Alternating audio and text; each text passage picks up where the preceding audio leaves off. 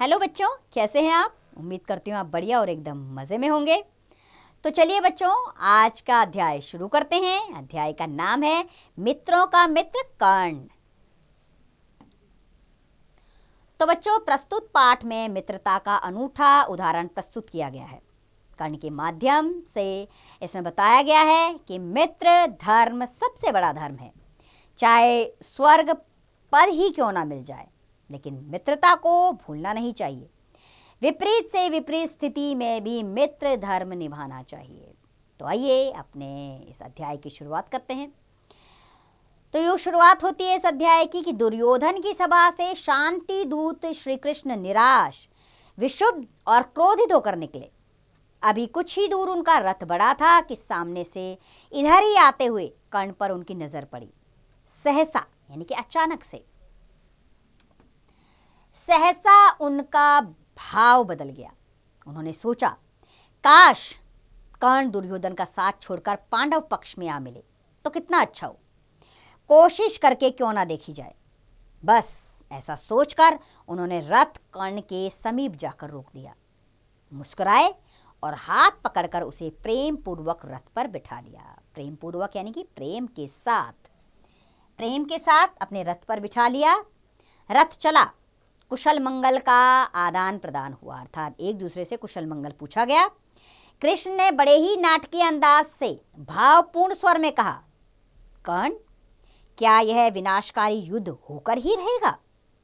क्या इसे किसी भी रूप में नहीं टाला जा सकेगा? मैंने कितना प्रयत्न किया, पर क्या हुआ? दुर्योधन ने मेरे किसी आग्रह अनुरोध को नहीं माना। कुछ रुककर उन्होंने कर्ण की ओर ध्यान से देखा। और फिर कहा, आज कदाचित वह अवसर आ गया है कर्ण, जब मैं भेद प्रकट कर दूँ, जो बहुत दिनों से मेरे हृदय को सालता रहा है। वीरवर कर्ण, तुम नहीं जानते कि जिन पार्थ भीम आदि को तुम अपना सबसे बड़ा शत्रु मानकर दिन रात उनके विनाश चिंतन में रहते हो वह तुम्हारे अनुज हैं। अनुज यानी कि छोटे भाई हैं। कौन है वो तुम्हारे? अनुज हैं। ये श्री कृष्ण ने कर्ण से कहा सहोदर हैं। भाग्य की लीला कितनी विचित्र है। कर्ण, तुम पांडु के ज्येष्ठ पुत्र हो। ज्येष्ठ यानी कि सबसे बड़े पुत्र तुम हो पांडु के। विधाता ने तुम्हें अद्वितीय बल, बुद्धि, पुरुषार्थ और पराक्रम दिया है। तुम्हें संसार, परम दानी निसहायों और वंचितों का रक्षक महात्मा कर्ण कहता है। तुम परशुराम के परम शिष्य, उद्भट योद्धा और अद्वितीय धनुर्धर हो। हे महारथी कर्ण, क्या ये भाग्य की क्रूर लीला नहीं है कि परम गुणों से मंडित तुम जैसा नर रत्न आज दुर्योधन जैसे कुबुद्धि ग्रस्त के साथ मित्र भाव से जुड़ा है? क्या इसे दुर्भाग्य ना माने कि पार्थ और कर्ण जैसे धनुर्धर सहोदर आज एक दूसरे के रक्त के प्यासे हैं? नहीं कर्ण, मत होने दो ऐसा। यह अनर्थ है, अधर्म है, अनैतिक है क्रूरता है। क्या करती कुंती? अवश्य। निसहाय युवती माँ ने कलेजे पर पत्थर रखकर लोक भय लोक भय यानी कि लोगों का भय। लोक भय से अपने हृदय के टुकड़े को किन परिस्थितियों में जल तरंगों को सौंप दिया? यह कौन समझना चाहेगा? कदाचित कुंती के। तुम्हारे और पांडवों के भाग्य में यही लिखा था। कुछ रुककर कृष्ण ने फिर कहा, इस युद्ध को रोक दो कर्ण। इस भीषण नरसंहार को गले लगा लो अपने बंधुओं को। दे दो उन्हें अपनी विशाल भुजाओं की छाया। मैं विश्वास दिलाता हूँ कर्ण, मेरे साथ चलो। तुम्हारा पुण्य अभिषेक किया जाएगा। पांडवों के कंठ से जब तुम्हारा जयगान गूंजेगा तो धरती अभय हो जाएगी।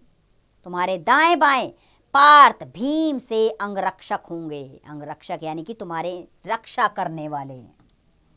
यह युद्ध का आतंक शरद के बादलों की तरह देखते देखते विलीन हो जाएगा। विलीन का अर्थ है गायब हो जाएगा। अर्थात ये युद्ध चल जाएगा। श्री कृष्ण ने कहा कि अगर तुम पांडवों के साथ आ जाते हो तो ये युद्ध टल जाएगा। गुरुराज दुर्योधन अपने युद्ध दुराग्रह को त्याग देगा। सोचकर देखो कर्ण, तुम्हारे एक ही निर्णय से इस मातृभूमि का रूप बदल जाएगा। सारा संसार तुम्हारी जय जयकार करेगा। कर्ण ने सब कुछ सुना। फीकी हँसी के साथ उसने कहा, हे केशव, मैं कृतज्ञ हुआ। आपका मुझ पर इतना स्नेह है। जानकर मैं अभिभूत हूँ। मैं अपनी इस रहस्यमयी जन्म कथा को जानकर स्वयं विस्मित हूँ। विस्मित हूँ यानी कि आश्चर्य में पड़ गया हूँ। अर्थात मेरे जन्म की कथा जो आपने मुझे बताई है, उसको सुनकर मैं आश्चर्य में हूँ। किंतु हे मधुसूदन, इस सारी कथा को सुनकर जब मैं आपके प्रस्ताव पर विचार करता हूँ तो मुझे लगता है कि मेरे प्रति विधाता ही जन्म से टूट रहा है। मुझे आरंभ से ही भाग्य ने छला है, किंतु मैं उससे निरंतर संघर्ष करता रहा हूँ। मैं उसके विरोध अपने पराक्रम को लेकर खड़ा हो गया। पग पग कर पर मुझे ग्लानी, लाशना और अपमान भोगना पड़ा। सूत पुत्र कहकर मेरा तिरस्कार किया गया। तिरस्कार यानी मेरा अपमान किया गया। क्या किया गया मेरा? तिरस्कार किया गया एक कांड ने कहा। उस समय ना माँ का कलेजा पसीजा और ना विधाता को ही तरस आया। उस समय जो हृदय भावना से भरकर मुझे गले लगाने के लिए आगे बढ़ा जिन हाथों ने उल्लास से बढ़कर मुझे आलिंगन में बांधकर मेरा सम्मान बढ़ाया, जिस नरपुरंग ने भरी सभा में बंधु कहकर मुझे अपने बराबर स्थान दिया और जिसने मेरे सिर पर मुकुट धरकर मुझे राजपुत्रों के बीच आदर दिया। उस मेरे परम बंधु का साथ छोड़ देने के लिए आप मुझे कहते हैं? नहीं कृष्ण, नहीं। यह मुझसे नहीं हो पाएगा। जिस वृक्ष की छाया मुझे मिली, मैं उसी को काट दूँ? केवल इसलिए कि लोग मुझे पांडव कहें, मेरा कुंती पुत्र कहकर सम्मान करें, मुझे राज सिंहासन प्राप्त हो और मैं धर्मराज का अग्रज कहलाऊं। नहीं केशव, नहीं चाहिए मुझे यह मान सम्मान। यह ताज सिंहासन, यह धन ऐश्वर्य, मैं इसके लिए नहीं बना हूँ। मैं अपनी ही दृष्टि में अपने को कलंकित नहीं करूँगा। मैं अपनी ही ग्लानी से हर पल मर मर कर जीना नहीं चाहता। हे केशव, जो भी आप मुझे देंगे, वह सब मैं कुरुराज दुर्योधन को दे दूँगा। उस बंधु के लिए मेरे पास कुछ भी अदेय नहीं है। यदि मुझे आप इंद्रप्रस्थ भी दे दें तो उसे भी मैं दुर्योधन के चरणों में अर्पित कर दूँगा।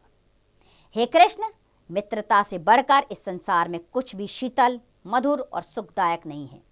उसका मूल्य किसी भौतिक संपदा और मान सम्मान से नहीं आका जा सकता। परम विस्मय से कृष्ण उसे देख रहे थे और कृष्ण को प्रणाम करते हुए राधा पुत्र कर्ण रथ से उतर रहे थे। कृष्ण सोच रहे थे कि ऐसा व्यक्ति है ये कर्ण? क्या ऐसा चरित्र संभव है? ओह, मित्र हो तो ऐसा।